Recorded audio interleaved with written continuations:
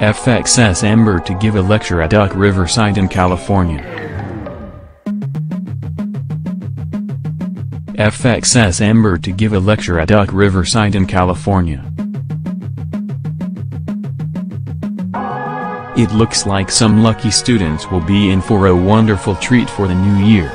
FX member Amber has been scheduled to give a lecture at the UC Riverside campus in California. On January 4th, the UC Riverside Associated Students Program Board, ASPB revealed the exciting news via Facebook.